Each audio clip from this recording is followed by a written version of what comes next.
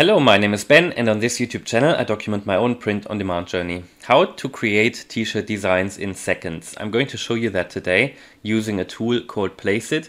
I've been using Placeit since the beginning of my print-on-demand journey. It was the first tool that I actually started to use. Um, really the very first tool in general. Even before I started to use upload tools or any other tools, I really started to use Placeit first. I didn't even do um, I didn't even use any research tools before that. No, I really started with Placeit. And the reason is that, uh, I don't know if you know Greg Gottfried's channel.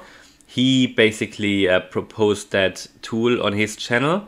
Um, he basically got me into the whole print on demand thing. I don't think he's very active anymore on YouTube, but he's got a lot of um, lot of YouTube videos with or about print on demand, which have a lot of views. So he provides really good introductions into print on demand, and um, yeah, he got me into it and I started to use Placeit and I really loved Placeit. Most recently I started to use Vexels and Canva, but I felt it was for me like a, um, a journey that very much in the beginning I needed to create a base for my designs because what, what Greg said in his videos that if you want to make consistent sales in print on demand, you need to have at least 1000 designs online. And he said that there shouldn't be obviously bad designs, there shouldn't be rubbish designs, they still need to be good designs. They don't need to be perfect, but at least you need to have good designs and he mentioned around 1000 designs. Now that was mm, that was yeah i think it was more than no it was nearly a year ago now that he made this video. So i believe today you might even need a, a little more than 1000 designs because the competition is growing more and more people are uploading and continuously adding to this stock of designs which is on the print on demand websites so maybe it's rather around 1200, 1300 designs. And I know when you're just starting with print on demand, that number can be really overwhelming. But actually, I mean, I achieved the 1000 designs fairly quickly. And I used a combination of a, um, a tool, which I also showed you in another video, which is called WordSwag. This app creates text-based designs, really good text-based designs um, with a press of a button. So that only takes seconds and I would say 20 25% of all designs that I sold were made in WordSwag. Now, a fair amount of other designs that I sold was made in Placeit. Even some of my early bestsellers, uh, which were in the uh, the veganism niche, yeah, that I created them here on Placeit. Now, Placeit always had an issue, and the issue was that you couldn't really resize your pictures or um, yeah designs because I also upload to Amazon Merch and my designs should be 4500 by 5400 and I was never sure how to do this in Placeit but today I'm going to show you how you can do that. So I'm going to take you through the design process quickly because I really want to show you that you can create designs in seconds. I know that a few of you are struggling to create a lot of designs and you know that might not be an issue if you do it for as a hobby but if you really want to earn some money with it um, and really want to push your really want to push your business forward, then I recommend you look into it something like Placeit, which for a beginner I recommend over um, Canva because Placeit have from all the different design tools that I've seen, they have most um, most mockups or not not only mockups, they have most templates available that you can use to create your own designs and it's fairly easy. Yes, I think Placeit is limited as well in terms of what you can do, but for a beginner, it is awesome. Really, it got me into it. It kept me motivated. It allowed me to understand that it is not that hard to create a thousand designs. Um, and let me show you. So first of all, you go to Canva uh, to to Placeit. Yeah, it's not free, so you have to sign up.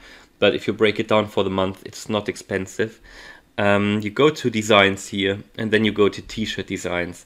Now, you, they also have a logo maker, and there's no reason why you shouldn't be able to use logos for t-shirts as well. But the t-shirt design maker specifically has designs for t-shirts available. Now, I'm going to show you maybe this here at the um, the example of this one here, Cats Before Guys.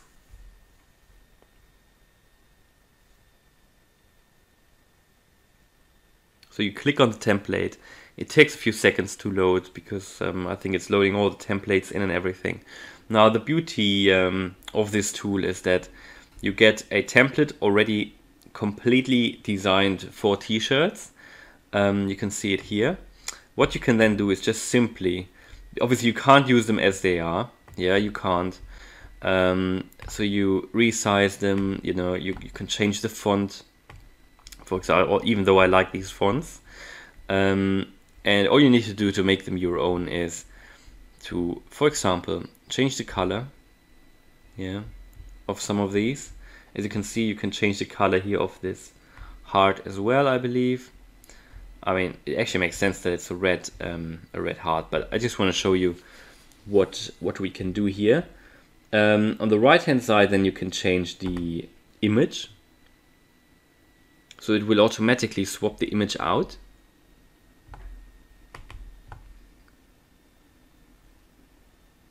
And if you can then find a new text or slogan, that's even better.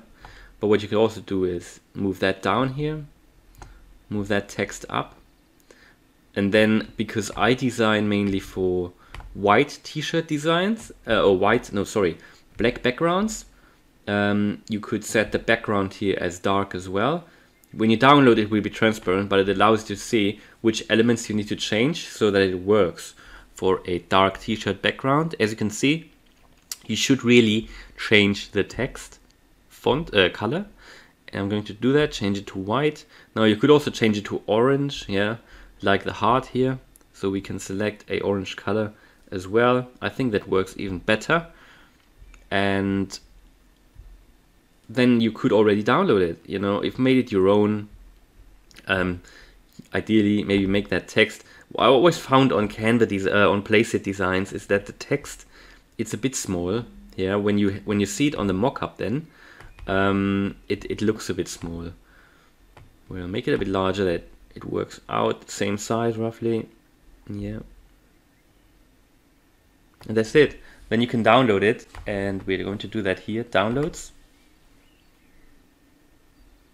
It's processing the design. And by the way, they also have quite a few templates for the 4th of July, which is coming up, um, US Independence Day. So you can do that as well. That is obviously a trend which is going to start soon, kicking off, and that will be here to stay. So that will just come come back next year. Click to download. Oh, by the way, what I forgot to do because I haven't used it for a while, need to change the background to transparent. You have to do that before you download, otherwise you have a dark background. So just download it again. And by the way, you can um, they have under under my downloads, you can always see all your downloads, right? So every design that you've downloaded or every banner, every video, every mock-up, you can see there and edit it. Yeah, so you can go back in, edit it.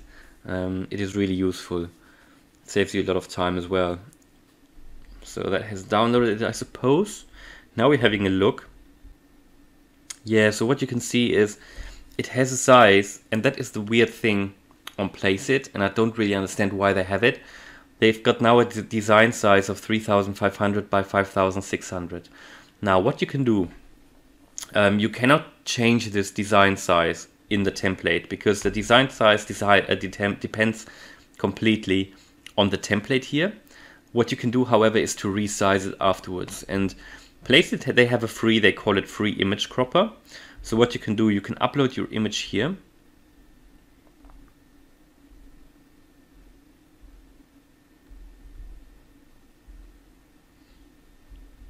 Uploaded that now. What you can then do is you change your design size to, let's say if you do Amazon Merch 4500 by 5400, which will then resize it. You can zoom in a little bit. You can center it, you know, and you can use these um, these squares here to um, to make sure it's centered. And I'm happy with that. And then I'm going to download it. Have to relog in. So and now it's processing the image and downloading it. Okay, what you can see here now is that this image now has a size of 4500 by 5400 and I can now upload it to, um, to, to Merch by Amazon. Now, nothing is stopping you to, to, to upload, for example, a 3500 to 5000 by 5600 design as well, but it wouldn't work on Amazon Merch. Um, it is not great that all their templates or most of the templates have different sizes. Some templates have 4500 by 5400. Now, if you know a template works for you, you can always reuse it and you know that size, for example. Um, but then you, or again, for example, in this template here, oops, that I had here, I'm, I'm a little bit limited in terms of the designs that I can use. Um, for some reason, not all designs work with every template. So yeah, I can look for other things here, like for example, for cat, and some will come up. But then I find if I use a different template, for example, um, let's say a dog template, different animals will come up. I mean, I can probably also find dogs here, but um, yeah, I just found that different different uh, templates and graphics they only show up on different um, different graphics here. They only show up on different templates within Canva, but um, it is a great tool, a really great tool, especially to start with, or if you want to just push out a lot of designs and you can make them your own. Um, now these will never be like the super detailed designs that you can often find um, on Amazon Merch, you know, with different uh, arrows. I mean, you can do something here as well, but I think this design tool here, it's mainly for people who want to, let's say in print on demand, want to push out a lot of designs. Um, and, you know, just to create a base, especially in the beginning. And a lot of these two designs that are created here in um, Placeit, they are still selling. So they definitely sell. It's a different design style that you can achieve here compared to Vexels, for example. And, you know, I, I think if you're starting, if you're struggling to create designs, have a look at it. I really liked it and um, I'm still using it, you know, from time to time.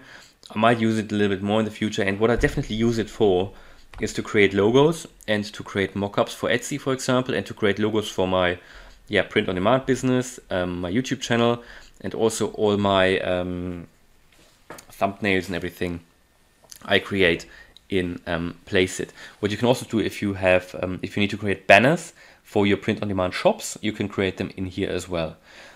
And they also already, for example, if you go to um, where is it? Where is it? Designs. Well, under banners, I think they, they've got already the, the right sizes for example if you do youtube they've got the correct size already um, in there for your youtube channel or for your instagram. If you have a print on demand fan page for example so you can you can just use it. Really useful tool. Let me know if you um, if you like it. If you're interested in it you can click on the link in the description that will take you to Placeit. you can have a look at it if you like it or not and um, yeah today I just want to show you how you can create designs in seconds and how you can um, resize them in Placeit thanks a lot for watching and see you in the next video. Bye